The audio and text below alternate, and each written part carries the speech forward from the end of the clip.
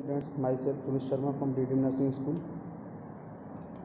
इससे पहले हमने बात की थी सब सेंटर की इंट्रोडक्शन के बारे में, कार्य के बारे में, उसकी फैसिलिटीज़ के बारे में. आज हम बात करेंगे सब सेंटर का एक्टिविटी प्लान ठीक है? कार्यवाही योजना ये कैसे बनाता है? सब सेंटर का एक्टिविटी प्लान क्या होता है? तो इसमें देख लीजिए, कार्यवाही योजना एक दस्तावेज़ है। ये क्या है? एक लिखित दस्तावेज़ होता है, जिसमें विशिष्ट कार्यक्रम पूरा करने का ब्यौरा होता है। जिसमें आवश्यक सामग्री एवं संसाधनों की सूची होती है। कार्यक्रम कब, कहाँ, कैसे, कहाँ लगाना है, ये सब सूचित किया जाता है। समझे? ये क्या होता है? लिखित दस्तावेज़ होता है, क्योंकि अब आपको पता है, सब चीज़ वैसे सॉफ्टवेयर पर होती रहती है, पर अब क्या है सब जो योजना बनाई जाती थी वो कैसे बनाई जाती है? लिखित में बनाई जाती है, ठीक है? लिखित में बनाने के बाद में उसको क्या एक्टिव करते हैं। और कोई भी कार्य होता है, आपको पता है कि हर एक कार्य को करने से पहले एक उसका एक्टिव प्लान बनाते हैं। कि उसमें क्या क्या कराना है, कैसे कैसे करना है, कोई भी काम करते हैं। अगर वो प्लान के तहत कोई काम होता है तो वो क्या सफल भी होता है अच्छा भी होता है। ठीक है? उसके बाद में अब देखेंगे कार्य योजना बनाना, किस प्रकार बनाएँगे तो देखिए। पहला पॉइंट है इसमें सब सेंटर का नक्शा और उसका क्षेत्र बनाना। ठीक है? हम क्या करेंगे, चिन्हित एक एक नक्शा बनाएँगे। नक्शा बनाने के बाद में उसमें क्या करेंगे, एक निश्चित स्थान ले लेंगे। ठीक है? कि इस एरिया से लेकर के इस एरिया तक में अपन को ये करना है, ठीक है? तो उतने एरिया को लेकर के उसके लिए एक प्लान अपन बनाएँगे। तो उस प्लान में क्या क्या, कैसे कैसे कैसे बनाएँगे? सब सेंटर के माध्यम से जिस क्षेत्र में सेवा देनी है उसे चुनना है, ठीक है? अपन ने इतना क्षेत्र लेना है उसको चुन लिया। ठीक है? इसमें कितने लोग हैं, ये सारी चीज़ें अपन, ये इस क्षेत्र के अंदर में ही अपन करेंगे, ठीक है? ये इतना क्षेत्र हमने चुन लिया। उसके बाद में आंगनबाड़ी कार्यकर्ता एम एस एस सदस्य आशा सहयोगिनी की मदद से सेंटर का नक्शा बनाना, इन सब की मदद से क्या करेंगे हम? नक्शा बनाएँगे पहले। नक्शा तो बनाने के बाद में फिर क्या करेंगे? उपकेंद्र में कौन सी जगह मीटिंग बुलाई जाएगी मरीज़ के इलाज है तो भेजना हो तो वाहन के बारे में सोचना। ठीक है? उसमें क्या होता है? सारी चीज़ें ये देखी जाती है, किस जगह मीटिंग बुलानी है, किस जगह कैंप लगाना है। ठीक है? आदि चीज़ें, कोई अगर पेशेंट मान के चलिए रेफ़र करना है तो उसके लिए वाहन की व्यवस्था करना है। ये सारी चीज़ें कौन करता है? आंगनबाड़ी कार्यकर्ता एम एम एस सदस्य जो होती है, और सहयोगिनी जो होती है, ठीक है? उसके बाद में दूसरा पॉइंट है इसका, घर घर में सर्वे करके आवश्यक जानकारी प्राप्त करना। घर घर में सब सर्वे करेंगे, उसके बाद में आवश्यक जानकारी प्राप्त करेंगे, ठीक है? तो वो क्या क्या जानकारी होती है, वो अब आप, बहुत सारी है, वो आपको बताते हैं। एक तो क्या है कि किसी के भी घर में अपन जाएँगे, ठीक है? तो उससे फुल डिटेल लेंगे ठीक है? जितने क्या है कि प्रो फार्मा एक तरफ़ से तो इसको पूरा फॉलो करना होता है अपन को। उसके लिए पहला है लक्ष्य दंपत्तियों की संख्या। उसमें मतलब कितने दंपत्ति हैं, कितने कपल्स हैं, कितने लोग रह रहे हैं, ठीक है? उसके बाद में गर्भवती दंपत्तियों की संख्या। कितने कपल वहाँ पे? या कितने लोग? गर्भवती हैं। कितनी महिला गर्भवती है, ये देखना। है उसके बाद में गर्भवती महिलाओं की संख्या। कितनी महिला गर्भवती हैं? गर्भवती महिलाएँ जो रजिस्टर में दर्ज हैं, पहले ही मतलब उनकी जानकारी कितनी की है? गर्भवती महिलाओं को टेटनिस का टीका लगाया गया कि नहीं, आपको पता है इम्यूनाइजेशन होता है। ठीक है इम्यूनाइजेशन में क्या होता है? टीका लगाया जाता है कि नहीं? तो टेटनिस का टीका कितनी महिलाओं को लगाया गया ये भी अपन को क्या नोट करना है। कितने नए जन्म हुए? ठीक है, नए जन्म कितने हुए, ये नोट करना है। उसके बाद में कितने जन्म रजिस्टर में किए गए हैं? ठीक है रजिस्टर में कितने जन्म हैं जो दर्ज किए गए हैं? कितने बच्चे जो पता है आपको, उसमें दर्ज हैं। कितनी डिलीवरियाँ घर पे की गई हैं?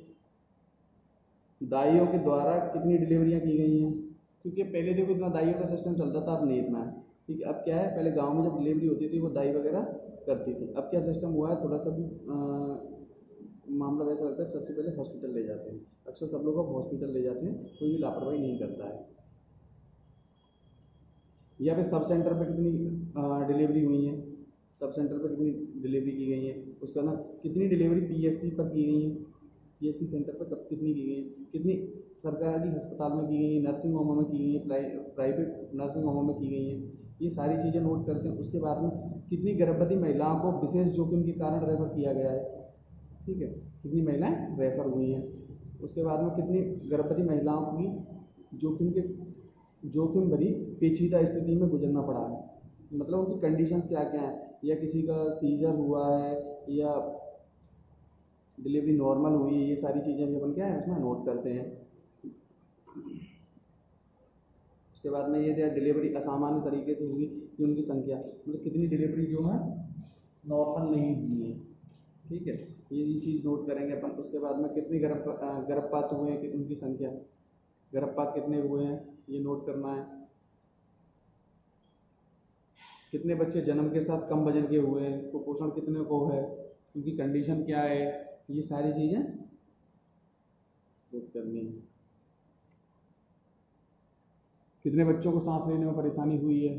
कितने नवजात शिशुओं की मृत्यु हुई है? नवजात शिशुओं की मौत के कारण क्या हैं? ठीक है कुपोषण है या और कोई कारण है या डिलीवरी में कोई लापरवाही हुई? ऐसे कई सारे कुछ कारण होते हैं वो सारा अपन नोट करते हैं। या जन्म के समय मृत बच्चा पैदा हुआ ठीक है, ये भी अपन को नोट करना है कि जन्म के समय मृत तो बच्चा पैदा नहीं हुआ है। हुए हैं तो कितने हुए हैं? एक साल से कम उम्र वाले बच्चों की संख्या, एक साल से कम उम्र के बच्चे कितने हैं? कितने बच्चों को श्वास मार्ग में तीव्र संक्रमण है? कितने बच्चों को निमोनिया है? कुपोषण वाले कितने बच्चे हैं? कितने बच्चे आंगनबाड़ी केंद्र जाते हैं, आंगनबाड़ी केंद्र, आपको पता ही होगा, पाँच साल के छोटे बच्चे जाते हैं तो कितने बच्चे जाते हैं या नहीं जाते ये सारी चीज़ें आपको बतानी होगी, क्योंकि सरकार द्वारा कई सारी मुहिमें चला जा रही हैं जो आंगनबाड़ी के अंदर में भी आती हैं, ठीक है, जिससे बच्चों को लाभ मिल सके, जैसे मिड डे मील वगैरह और बहुत सारी चीज़ें हैं।